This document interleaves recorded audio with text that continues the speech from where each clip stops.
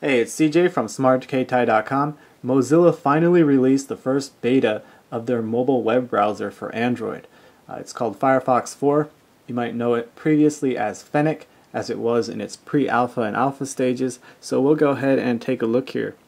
Uh, when you first install and launch Firefox, you're greeted with a startup screen. You can easily set up your preferences for uh, syncing uh, bookmarks and passwords between your phone and computer. You can customize by installing add-ons or plugins, or we can jump straight into browsing. Alright, we're going to start at the top.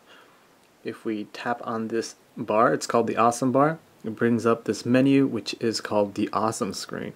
So this is where you want to go to check out all of your bookmarks and browsing history and things of that nature. I'm going to go ahead and load up smartkeitai.com and see how the page renders.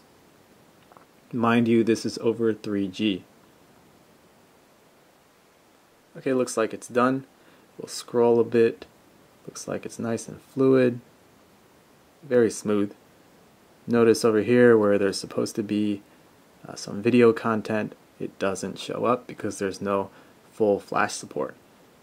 One thing that we do have that we didn't see in uh, very early builds is pinch to zoom. So no more double tapping to zoom in and out, we can just pinch to zoom.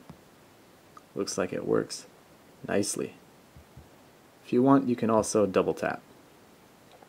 Now remember, if you swipe to the side, we have this column over here for easily jumping between uh, open web pages, and we can start a new tab by pressing the button at the bottom. Very nice.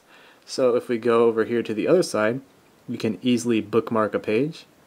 Uh, we have some navigational buttons over here. And then at the bottom we have our settings. So we'll go ahead and check out the settings real quick. The first button lets you change your start page. We can show images, enable JavaScript, uh, cookies, and other security settings. And at the bottom we can set our username and password for uh, syncing. The next button is for downloads, and the last button is for all of our add-ons. So you can see that we have Google, Amazon, Twitter, and Wikipedia integrated search add-ons. Uh, we can search add-ons. Here are some other ones, read later. That one looks like it would come in handy for uh, getting onto flights because it allows you to save pages for reading offline. Twitter bar allows you to send out tweets through the address bar, and then we can browse all of the add-ons. So not bad for this beta of Firefox for Android. We'll go ahead and press the menu button here, and this allows us to find in page and share page. So we'll go ahead and try that out. So I typed in Android, and you can see it brought us right to it. We'll check out the next entry, next, you can see that it works well. So we'll go ahead and jump out of there. And how about we go to another site? This is uh, smartkeitai.com's YouTube channel.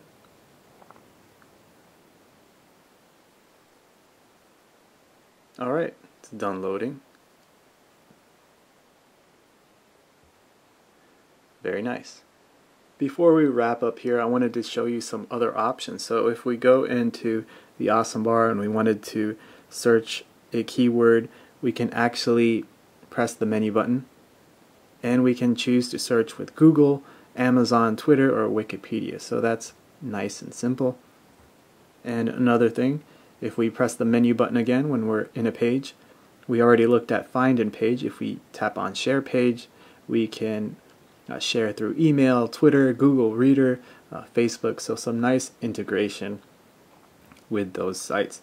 Uh, so this was a look at Firefox 4, the first beta for Android. It's coming along nicely and we're excited to see the progress over the really early versions that we saw before. We'll update you when a new version comes out. So follow us on Twitter at twitter.com slash smartkeitai. Uh, visit the site, smartkeitai.com, and subscribe to our YouTube channel.